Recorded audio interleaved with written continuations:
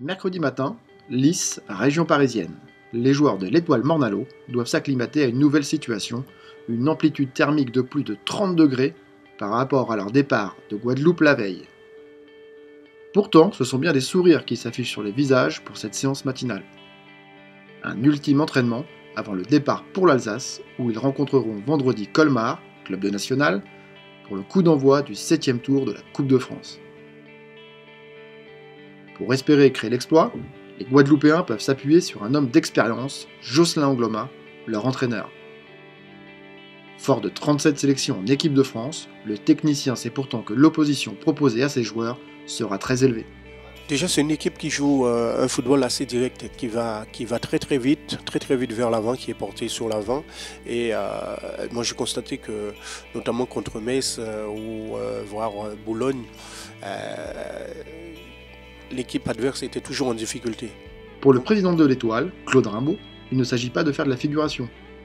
Le club le plus titré de Guadeloupe a un standing à faire respecter. Dans cette compétition-là, il n'y a pas de grandes équipes, il n'y a pas de grosses cylindrées.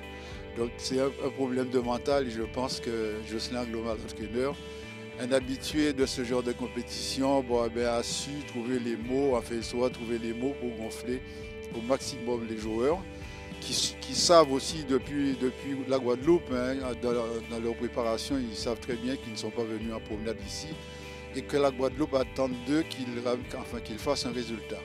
Si une qualification des joueurs de l'étoile serait un véritable exploit, tous s'accordent néanmoins sur un point, respecter les valeurs fondatrices du club, fierté et honneur de représenter son île et ses habitants.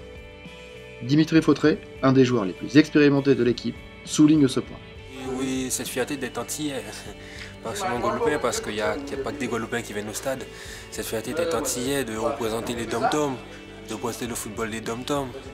Vous savez, le football des dom-toms, il n'est pas tellement élevé, mais on fait avec les moyens du bord. Donc qu'on arrive, à se qualifier pour venir jouer le 7 tour en France contre une équipe de Colmar qui est nationale, qui est quatrième du championnat, je peux vous dire que ça fait plaisir. Donc ça fait, ça fait vraiment plaisir et j'espère que vendredi il y aura beaucoup d'antillais dans les tribunes pour nous supporter parce que ça va pas être facile.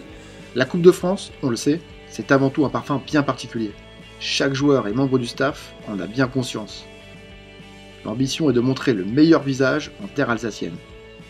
Dans une rencontre où ils n'auront finalement rien à perdre, les Guada Boys veulent seulement croire à leur bonne étoile.